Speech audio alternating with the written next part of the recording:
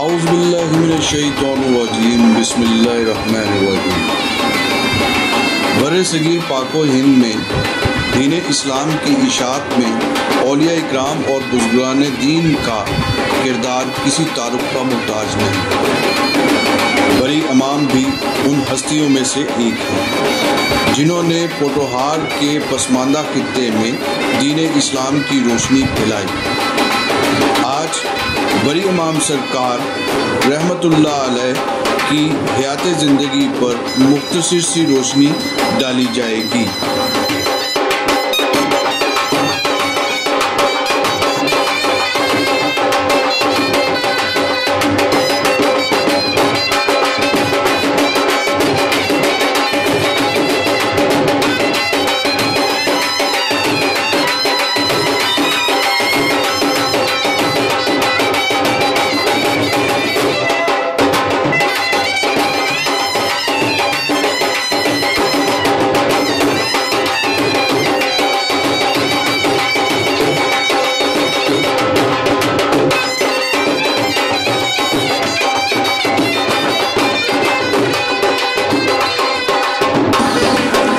महबूब हक, शहन शाह वक्त, आरफ कामिल, बदरुल आशिकीन, हज़रत सैदुल अब्दुल लतीफ़ शाह काजमी कादरी अल मारूफ, इमाम बरी सरकार, अलैह की वलादत बासआदत एक हज़ार छब्बीस हिजरी में करसाल चकवाल पंजाब में पाकिस्तान में हुई।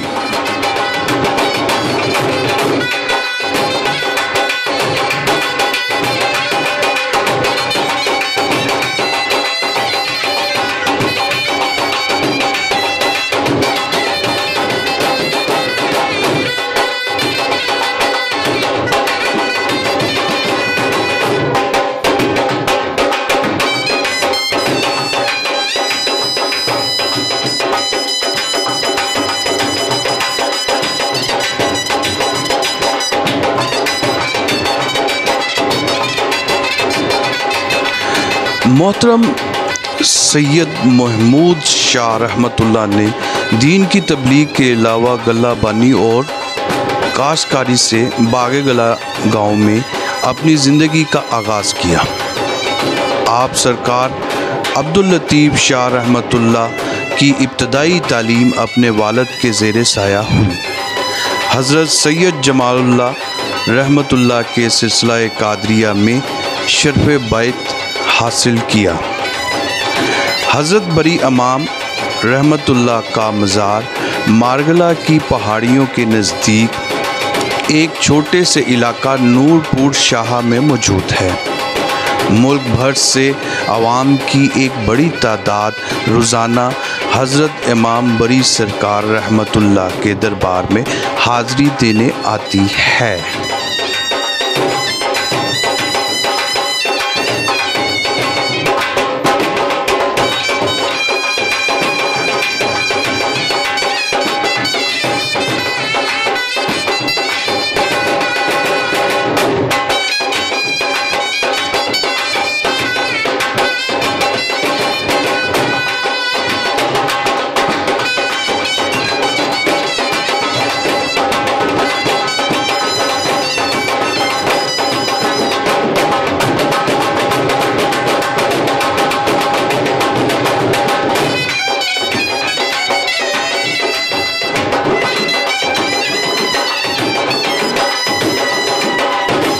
वाक़ात में से एक वाक़ औरंगज़ेब आलमगीर बादशाह का भी है, जो उस वक्त के बादशाह वक्त थे और आप सरकार को नहीं जानते थे।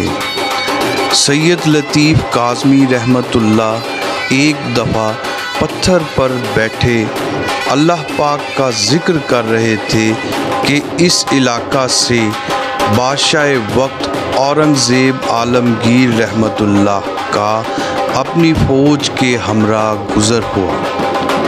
रात बहुत हो चुकी थी तो इस वजह से औरंगज़ेब आलमगीर रहमतुल्लाह ने फौज को पड़ाव का हुक्म दिया और लंगर को तैयार करने का भी हुक्म दिया। जब जब लंगर तैयार हुआ तो बादशाह ने हुक्म दिया कि आस-पास के लोगों को खाने की दावत दी जाए। हुक्म के मुताबिक लोग खाना खाने आए और खाना शुरू कर दिया। इस दौरान चंद सिपाहियों ने औरंगज़ेब आलमगीर रहमतुल्लाह के पास आकर शिकायत लगाई कि एक शख्स ऐसा है जो आपके हुक्म को मानने से इनकारी है। बादशाह हजूर बरहम होकर फौजियों को दोबारा से भेजा और कहा, इस शख्स को मेरे पास लेके आओ। लेकिन दोबारा फौजियों ने वही माजरा पेश किया कि वो शख्स आने के लिए तैयार नहीं है।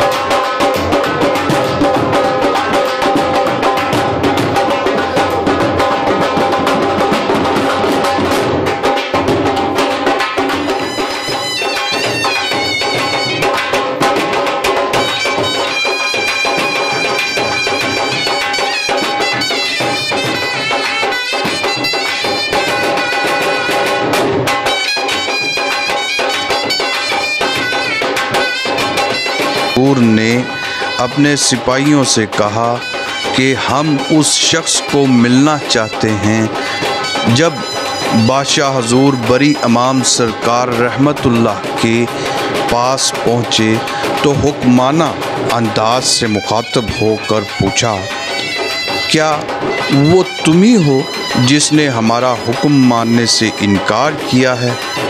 बरी इमाम सरकार रहमतुल्लाह ने हाँ में जवाब दिया। जवाब सुनकर बादशाह और गज़बनाक हुआ और बोला कि तुम नहीं जानते कि मैं बादशाह वक्त हूँ और तुम हमारी जागीर में मौजूद हो। जवाब में बरी अमाम सरकार रहमतुल्लाह ने फरमाया, तुम जो भी हो, जागीर सिर्फ़ अल्लाह पाक की है। अगर जागीर देखने का बहुत शौक है तो हमारे साथ इस पत्थर पर बैठ जाओ। बादशाह जब पत्थर पर बैठा तो उसको चारों तरफ़ हीरे जवाहरात का दरबार नज़र आया, और जिस पर हज़रत इमाम बरी सरकार रहमतुल्लाह बैठे थे, वो बहुत खूबसूरत तख्त की सूरत में नज़र आया। ये देखते ही औरंगज़ेब बादशाह ने बड़ी अमाम सरकार से माफ़ी मांगी। आप सरकार ने औरंगज़ेब रहमतुल्लाह को ना सिर्फ़ माफ़ किया, बल्कि उनके हक में दुआ भी फरमाई। नाजरीन, इस तरह से बड़ी अमाम सरकार रहमतुल्लाह अलैह की बहुत सी करामतें हैं, जिनका ज़िक्र गाहे बगाहे हर किताब में शाया किया गया है। आरफ कामल, बदरुल आशिकीन, हज़रत सैयद अब्दुल लतीफ़ शाह काज़मी, चार जमादुल उला, क्या अल्लाह अजवजल की उन पर रहमत हो और उनके सदक़े हमारी बेहिसाब मकफरत हो। आपका मज़ार रे मुबारक। आपका मज़ार मुबारक नूरपुर शाह इस्लामाबाद, पाकिस्तान में मौजूद है।